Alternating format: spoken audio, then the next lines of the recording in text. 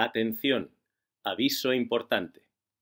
El relato que van a escuchar a continuación no es apto para todos los públicos. Aunque es una creación literaria que nace de la fe y que pretende edificar, contiene descripciones de actos crueles y palabras gruesas que pueden herir la sensibilidad de la audiencia. Este relato está inspirado en el sufrimiento, a menudo silenciado, de los sacerdotes falsamente acusados de abusos. Es un drama real, particularmente agudo desde que se descubrió al público la vergüenza de los abusos a menores. Todos los detalles de la trama, los personajes y sus circunstancias son creación del autor.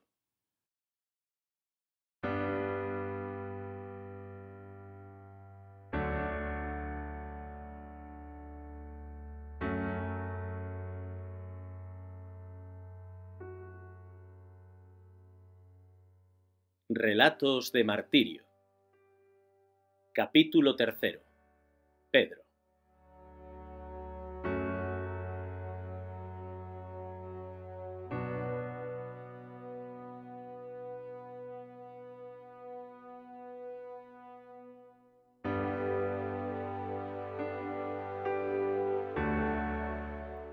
Pedro nunca fue un chaval de su época estaba de moda ser parlanchín y sandunguero, pero él era de esos que salen timidines.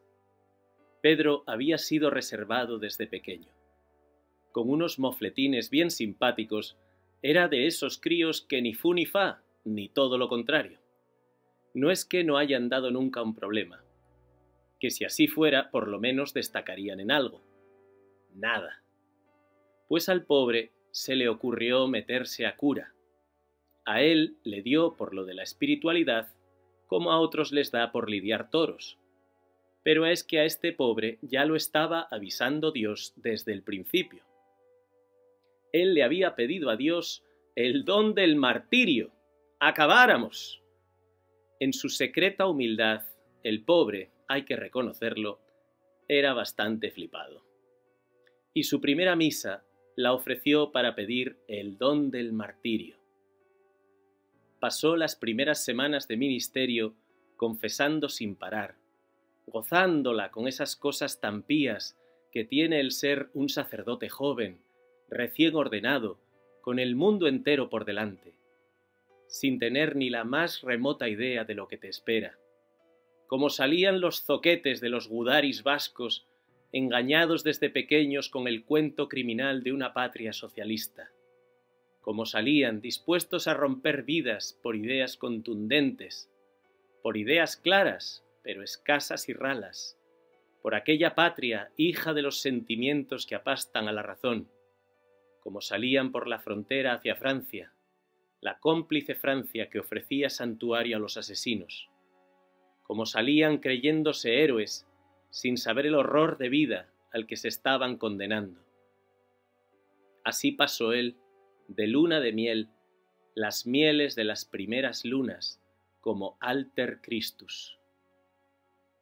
Pero en medio de aquellas lunas doradas y de aquellas mieles tan sabrosas, se apareció como un mensajero de desgracias, un sacerdote que aguardó hora y media de cola para darle ánimos.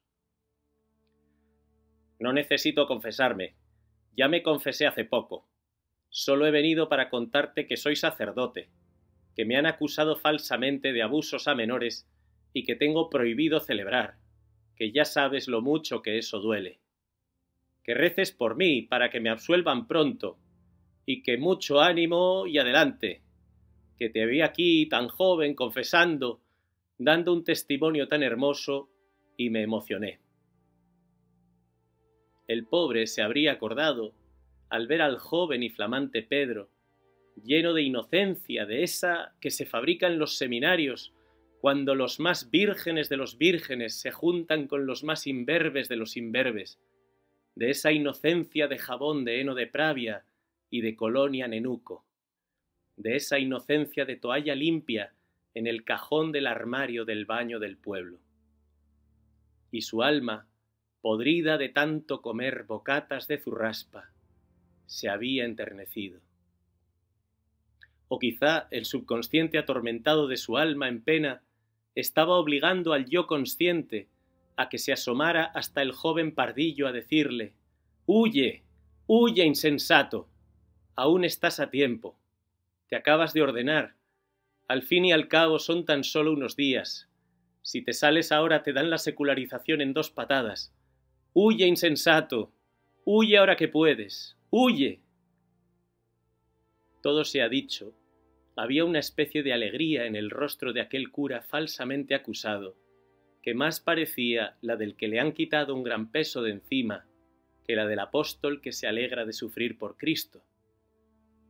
O quizás simplemente se alegraba de ver a Pedro. ¿Quién sabe?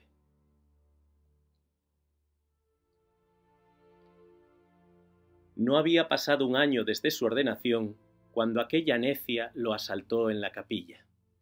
Era necia, necia, necia. Se encaprichó del curita en cuanto lo vio entrar por la puerta de la parroquia. Ella, la American Princess de toda la vida, a la que nunca papi le dijo que no, pero que luego puso un pie en la vida y se la comieron con patatas fritas. Y la nenita de papasito, todo lo que logró estudiar fue un gradito en teología y ahora trabajaba de directora de Religious Education en una parroquia estadounidense, que en esas parroquias hay dinero para todo. Él era el hombre más puro que ella había conocido. Nunca había conocido un sacerdote que celebrase la misa con tanta sencillez, pero que a la vez se extasiase así ante la Santísima Hostia. Aquel cura no sé si creía, pero entender, vaya si entendía. Este cura entendía que si existe Dios y que si Dios está aquí, en la hostia, entonces el Señor que hizo el cielo, la tierra, las galaxias, cada molécula, la luz, tu vida, la historia, el que sostiene el universo en la punta de su dedo, está aquí, está aquí. Este cura entiende que si lo que creemos es verdad, entonces todo cambia. Entonces hay cielo y hay infierno entonces existe otra dimensión en la que darse es ganar, en la que se juega a perder.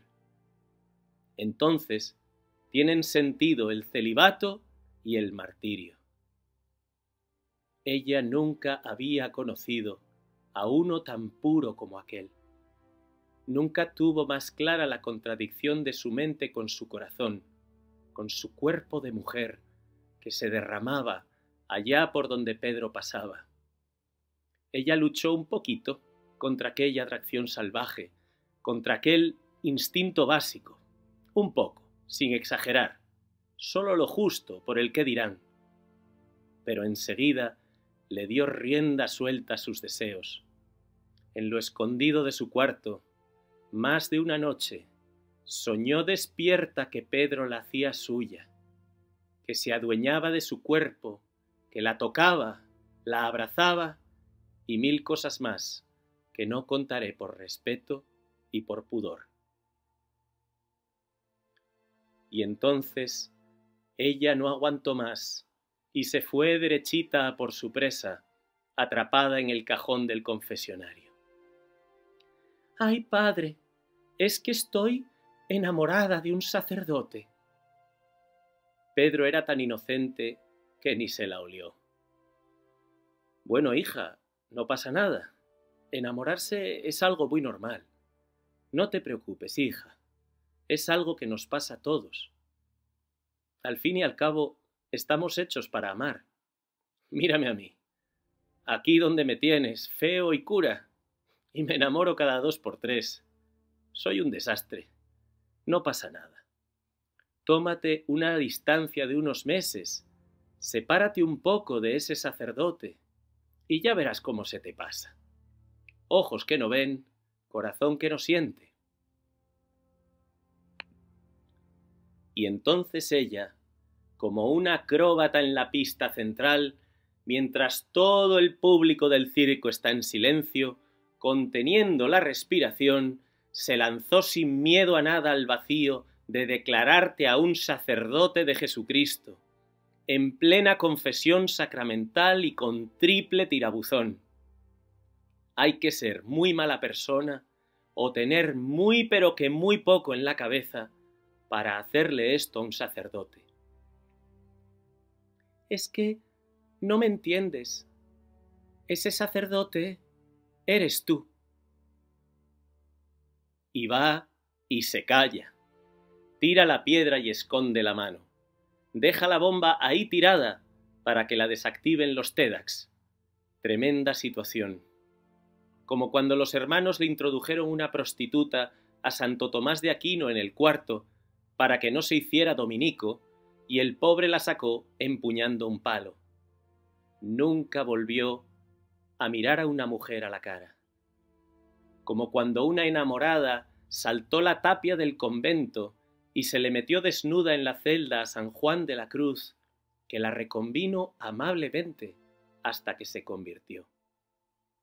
Pedro, más de San Juan de la Cruz que de Santo Tomás, en un acto sobrenatural, lleno de una fuerza de esas que te hacen sospechar que Dios existe, la rechazó, pero con gesto amable, como de hermano mayor, y le dijo que lo mismo que le acababa de decir, le dice ahora, que donde dije Diego, digo Diego, y donde dije dije, digo dije, que se separe un poquito, que se tomara una distancia de unos meses y ya verás cómo se te pasa. Ella se quedó de piedra. La estaba rechazando. ¡A ella! Empezando por su papi, a ella nunca la habían rechazado. Intolerable. Y se lo tomó muy a mal. Y se puso a buscar quien la comprendiera, a ella, la pobre víctima de abusos sexuales. ¿Sexuales? Sí, sí, sexuales, sexuales, como te lo cuento. Y dirás tú, mi sufrido oyente, que de qué abusos sexuales estamos hablando. Y yo, relator del hecho, te responderé que lo mismo me pregunto yo.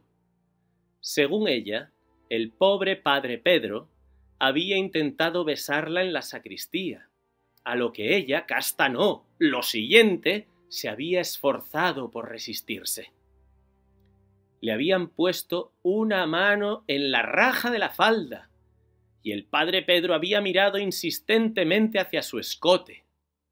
Todo era mentira, o casi, pero ¿qué más daba? En aquel momento sólo contaban sus sentimientos heridos. Esa era la única verdad que contaba para ella. Le habían hecho daño y alguien tenía que pagar. ¿Qué más daba si era la vida entera de un inocente? como tantos antes que ella, se aprovechó de la revolución de turno. Y ya sabes lo que pasa con las revoluciones. Prefieren que sufran mil inocentes antes de que se escape un culpable. Y da igual que tú y yo pensemos que es justo al revés, que es mejor que se escapen mil culpables antes de que sufra un inocente. Da igual. La revolución pide sangre, sobre todo la de sus hijos. Y Pedro iba a ser la víctima, le gustase o no. Y hasta que no dio a parar con el que creyera sus infundios, la muchacha no dejó de confesarse.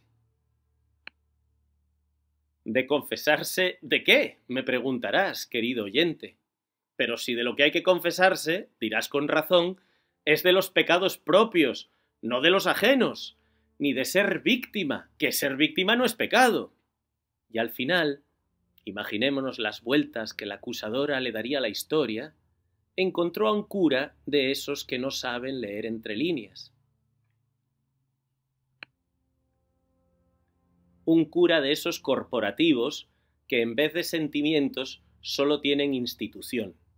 Un cura, en definitiva, al que le faltaba un verano un cura que le dijo muy serio que tenía que denunciar. Y ella escribió dos cartas al obispo en las que se quejaba de los abusos sexuales. Unas cartas atroces en las que explicaba que eran abusos porque ella no había estado de acuerdo y que eran sexuales, porque todo lo que sucede entre un varón y una mujer es de naturaleza sexual. ¿Cómo te lo cuento? Al día siguiente, llamaron a Pedro del obispado y le ordenaron que dejase inmediatamente de decir misa en público, citándole para una reunión urgentísima, a ser posible en menos de treinta minutos. A renglón seguido, mientras Pedro venía, se llamó al ecónomo diocesano y se le dio la orden de retirar a Pedro de los empleados a sueldo de la nómina diocesana.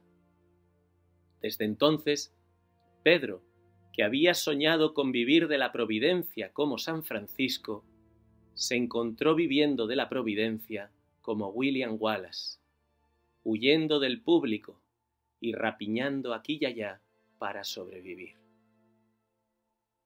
Las largas noches sin dormir eran un suplicio de concatenaciones de pensamientos concatenados. Se preguntaba si era posible que la Iglesia luchase contra un don de Dios, se preguntaba si eso quería decir que Dios había abandonado a su iglesia. Se preguntaba si acaso existiría Dios. Se preguntaba si estaría loco, si en realidad habría pasado lo que la chica decía en sus cartas. La noche oscura del alma, el convento de Toledo de San Juan de la Cruz, el silencio de Cristo de la Madre Teresa de Calcuta, los escrúpulos de Santa Teresita, la agonía de Cristo en el Calvario, la cueva de Manresa de San Ignacio de Loyola, el horror, el horror. Se debatía entre mandarlos a todos al cuerno y volver a su trabajo civil sin más ni más, o permanecer fiel a Cristo crucificado. A ese, sólo a ese se había consagrado no a otro, al Cristo que muere torturado y ejecutado, pese a ser inocente, al Cristo que se sintió abandonado por su propio Padre eterno. Pero ¿acaso no era esto lo que había pedido? Pero es que es la Iglesia la que me quiere echar, es de locos. Mi obispo. ¿Cómo va a querer mi obispo que me salga de cura? Es absurdo. Pero ¿cómo hemos llegado hasta aquí? Pero si no he hecho nada malo. Es por dinero, pensaba entre lágrimas. Es por imagen. Es por miedo. Es porque mi obispo es un cobarde. Es porque la Iglesia está en la crisis más profunda de su historia. Es porque estamos viviendo el desmoronamiento de un gigante con dos mil años de historia. O a lo mejor es el alumbramiento de una mariposa en el capullo que se rompe. Lo que está claro es que a los que mandan la tarea les viene muy pero que muy grande. Y también es verdad que la institución es tan descomunal que no hay superhombre al que no le venga grande. Y el pobre Pedro, acurrucándose con el frío que da quedarse solo en esta vida, siente cómo le van dando la espalda uno a uno los Judas que otrora le profesaban amistad. Y el pobre Pedro no sabe si podrá volver a predicar, a decir misa en público, a confesar. El pobre Pedro siente que es un daño colateral de una guerra que ni le va ni le viene. Y el pobre Pedro llora porque la vida no es justa y el pobre Pedro tiene un frío tremendo en su corazón, un frío tan malo que ya no lo cura más que un milagro. Porque aunque ahora viniera la muy malnacida y se arrojase a los pies del obispo, aunque no lo soltase hasta que le jure por su madre que perdona a Pedro y que lo va a restituir inmediatamente, aunque ella confesase entre lágrimas que es la culpable de todo y que no tiene palabras para pedir perdón, aunque ella se fuera a pasar el resto de sus días haciendo penitencia en un convento por ser tan criminal y perversa, aunque pasara todo esto y cien cosas más, Pedro sabrá que su madre, la Iglesia, lo abandonó cuando él, que lo dejó todo por ella, más lo necesitaba. Pedro ya no va a poder sacarse del corazón, de ese corazón que ahora tiene venas de hielo, la espina de que su mismísima madre, a la que él va a cuidar todos los días de su vida, esa madre por la que él ha renunciado al amor de una mujer, esa madre no solo no lo ha defendido, esa madre fue la primera en acusarlo y en desentenderse públicamente de él. Su obispo no solo no lo defendió de unas acusaciones tan sonrojantemente falsas, lo mandó a un centro diabólico donde unos mercenarios con títulos en psicología se encargan de solucionarle a los obispos la papeleta. Con voces melifluas le aseguran al acusado que están aquí para ayudarle, y al final, invariablemente, siempre encuentran algo, aunque sea un clavo ardiendo, porque en nuestra mente siempre hay algo raro, porque todos tenemos una ventana al norte, y estos alguaciles de Satán, sin pelos en la impresora, no tuvieron empacho en certificar que Pedro, como cualquier otro pobre acusado, no es apto para el ministerio. Entonces el obispo ya se ha cubierto las espaldas. No puede darle un cargo pastoral porque no es apto. Y si hay algo de verdad en las acusaciones, las diócesis ya no tendrán que pagar daños y perjuicios porque él lo echó en cuanto tuvo noticias del hecho. Y tú me dirás, querido oyente, con toda la razón, que de qué hecho tuvo noticia, que no hubo más que humo. Y yo te diré que efectivamente tienes toda la razón. Pero también te diré que si empiezas a acumular informes sobre humo durante meses, al final la pila de papel te hace parecer culpable aunque no haya más que humo. Y también te diré que vi al demonio muerto de risa, más vivo que nunca, el patilla, que tanto había disfrutado llamando come patatas al cura de Ars y sacándolo a tirones de la cama, reinando en aquel centro de tortura psicológica, mientras el propio San Juan María Vianney veía su cielo interrumpido por el dolor de que se emplease su nombre para machacar a curas inocentes. Vi a tantos sacerdotes triturados, y vi que la sangre de estos inocentes clamaba al cielo como en la matanza de Pilatos. Y Pedro celebraba misa otra vez en aquel altar diminuto y privado.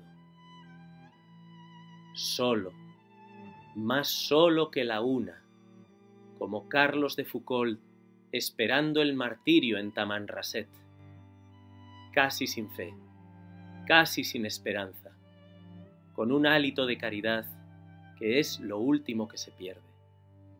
En la negrura más negra, este mártir de nuestros días actualizaba el sacrificio del Gólgota, la entrega del cuerpo pero lo que es más difícil, la entrega del alma, la entrega de la voluntad a Dios.